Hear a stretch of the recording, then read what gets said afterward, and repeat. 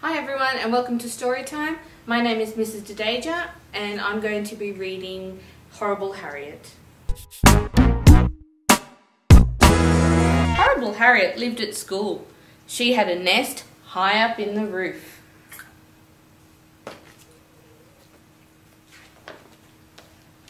Every morning, Harriet came down to attend class and hand in her homework. Her teacher, Mr. Bogle, couldn't see very well. He thought she was a good girl. She was helpful too. When someone was naughty, Harriet always told Mr. Bogle.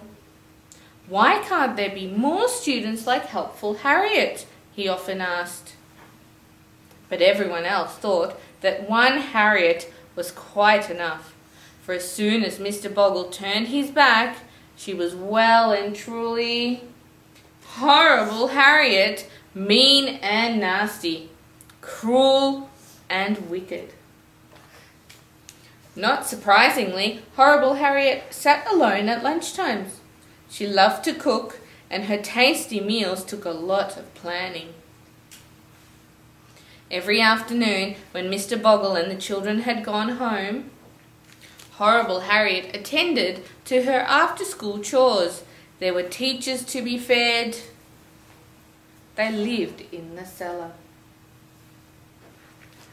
And did horrible Harriet's homework. Mr. Scruffy looked after her maths while Miss Plume took care of everything else. She'd been there for years and had even grown a wonderful little garden full of plants that liked the dark. If homework was late, horrible Harriet cracked her whip. This made Mr. Scruffy, Scruffy hurry, but Miss Plume just growled and hissed. One day, a new boy came to school. His name was Athol Egghead, and he was very polite. How do you do? he said when he introduced when he introduced to the class. Athol found making friends difficult. He was a shy boy and, and was used to being overlooked. When Mr. Bogle asked for someone to take care of him, horrible Harriet was quick to volunteer. Splendid, said Mr. Bogle. I know you'll make Athol feel very welcome. Naturally, horrible Harriet made sure Athol's first day was memorable. In fact, she wanted to make it a day Athol would never forget when he lost his lunch. Horrible Harriet insisted that he try her bat ear and monster tail soup. Hmm, not bad, said Ethel.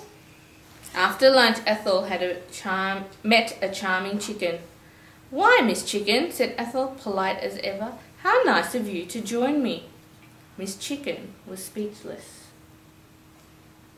In the morning, horrible Harriet found a lovely card on her desk.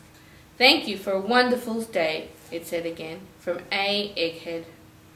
I knew you were just the one to welcome the new boy, said Mr. Bogle. It was a proud moment for horrible Harriet. Not long after that, Harriet showed Ethel some bold new steps when he joined her for dancing lessons. Then, in art class, Ethel Egghead helped Harriet with her self-portrait. More pink in the cheeks, he suggested. Harriet and Ethel were having a marvellous time. But down in the cellar, Mr. Scruffy and Miss Plume were growing restless. They were on emergency rations. Mr. Scruffy had raided his secret chocolate supply, while Miss Plume had to make do with her spare homework. One lunchtime, Ethel had bad news. I must leave, he said quietly. Then he gave her a special gift, a painting signed, For my friend, Harriet. When the time came, Harriet was very sad to see him go. So she locked herself away for five whole days. But on the sixth day, Harriet remembered. There was work to be done. There were teachers to be fed. She had to get out and keep an eye on things. Her old friends had been ne neglected. Mr. Bogle was certainly glad to see her back. If only there were more students like Harriet, he said to the class. But everyone else thought that one horrible Harriet was more than enough.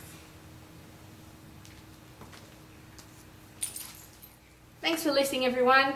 Um, come down to the library at recess and lunchtime, and there's plenty of more books to read.